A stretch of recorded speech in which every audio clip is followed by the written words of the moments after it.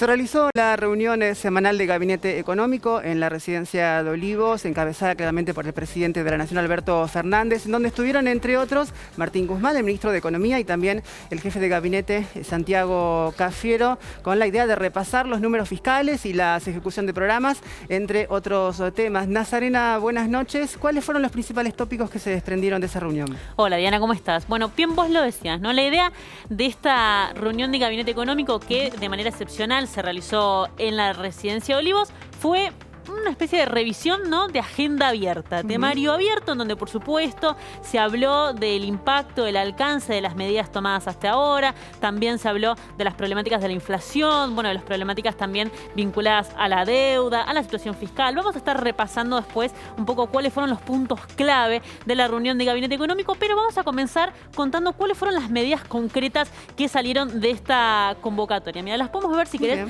ya en pantalla. Vamos a lo puntual entonces. Dale, vamos a, la puntual. Fíjate, dos medidas tomadas a partir de este encuentro de día jueves. La primera tiene que ver con la extensión del decreto de necesidad de urgencia que prohíbe los despidos en las empresas por otros 30 días más. Claro, a ver, esta medida vencía el 31 de mayo y en un contexto de aumento de restricciones y que no sabemos luego de que termine, bueno, las restricciones actuales, cómo es que vamos a continuar, qué va a pasar con la actividad económica, si se va a resentir más o no, bueno, era una medida esperable, ¿no? La postergación de este, de este decreto antidespidos por otros 30 días más. Y también un nuevo acuerdo, se suma un nuevo acuerdo de precios con el sector lácteo. Se incorporan 32 nuevos productos lácteos al programa Precios Cuidados, en lo que se destacan, entre otros, bueno, leches, más oferta de mantecas, dulce de leche y eh, cremas. Bueno, es un número interesante, 32 nuevos productos. ¿eh? Sí, sí, sí. No sé qué te parece a vos, pero me parece interesante ese número. Es bastante, por supuesto, que cuanto haya más oferta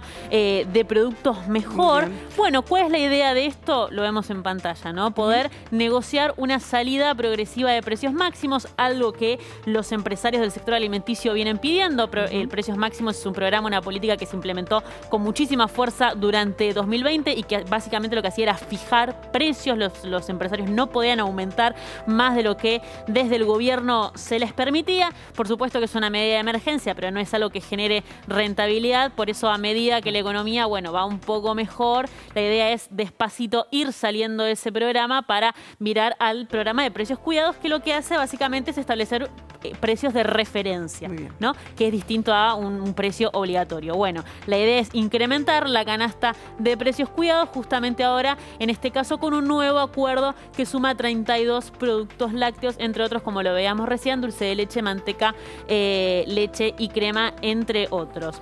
Si querés ahora podemos pasar, estas son dos medidas que se han tomado a partir de esta reunión. Pero fíjate la segunda placa, también me interesa que la analicemos, que son los puntos clave de este encuentro, ¿no? ¿Qué es lo que se charló? Yo reciente hablaba de una agenda abierta, ¿no? Un temario abierto donde se tocaron puntos trascendentales ¿eh? en la economía argentina en plena pandemia y vuelvo a decir lo mismo, vuelvo a poner el énfasis en plenas restricciones, ¿no? En la primera tiene que ver con la inflación en los alimentos. Bueno, este es un punto realmente que preocupa muchísimo. Nosotros sabemos que desde el, desde el gobierno mm. se proyecta una inflación general del 29%.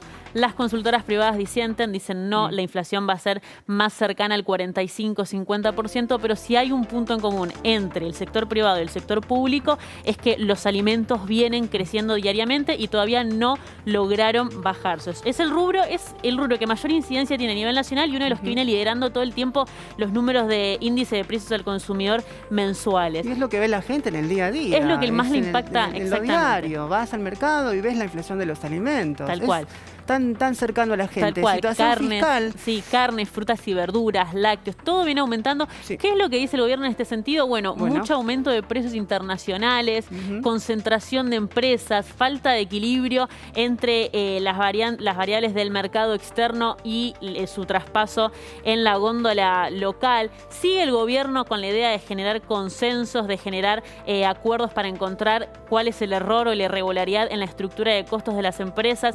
Sigue el gobierno con el tema del precios máximos de la ley de góndolas, pero bueno, es cierto que aún no se ha encontrado la manera exacta de bajar efectivamente el precio de los alimentos, se sigue buscando. Bien. bien, Dianita, decías esto, la situación fiscal, con esto me refiero a, a ver, eh, las arcas fiscales vienen creciendo en términos reales, está bien, pero es cierto que eh, la pandemia en 2021 está generando una demanda de dinero por parte del Estado que al menos cuando se preparó, diseñó el presupuesto 2021 no se contemplaba, ¿no? El famoso paquete COVID, que sí estuvo durante 2020 eh, y toda la asistencia económica por parte del Estado que vimos, pero no se esperaba que, tenga la magnitud que hoy tiene la asistencia económica estatal en 2021 a causa de la pandemia. Bueno, ahí está siempre cómo buscar el equilibrio entre bajar el déficit fiscal, teniendo en cuenta que estamos en plenas negociaciones con el Fondo Monetario, y es uno de los principales requisitos que pide, y al mismo tiempo seguir asistiendo a los sectores más vulnerables en un contexto en donde las restricciones económicas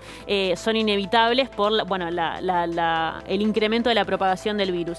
Los controles de, AFIP, también, esto es un tema que vamos a estar igualmente detallando más adelante, pero tiene que ver con las irregularidades que se encuentran en las empresas, particularmente en el sector de la carne, maniobras especulativas que derivan en aumentos de precios de un alimento muy esencial y que hoy está en disputa. Bueno, eso lo vamos a ahondar muchísimo más adelante. Realmente muy preocupante lo que encuentra el Estado allí. Y por último, bueno, uno de los principales problemas, ¿no? Que está claramente en agenda, que tiene que ver, por un lado, la deuda eh, interna, bueno, la, deuda en pesos, pero eso lo dejamos eh, a un costado porque es un problema secundario. El principal problema tiene que ver con la deuda externa, la deuda que en este momento se mantiene con el Fondo Monetario Internacional y por el cual, bueno, estamos en algún punto tan ahogados, ¿no? Porque estamos condicionados a eh, renegociar un programa de nada más y nada menos de 45 mil millones de dólares. El gobierno sostiene, nosotros no nos vamos a condicionar, digamos, no vamos a pagarle al fondo en detrimento de eh, el bienestar de los argentinos y el uso de ese dinero justamente para seguir asistiendo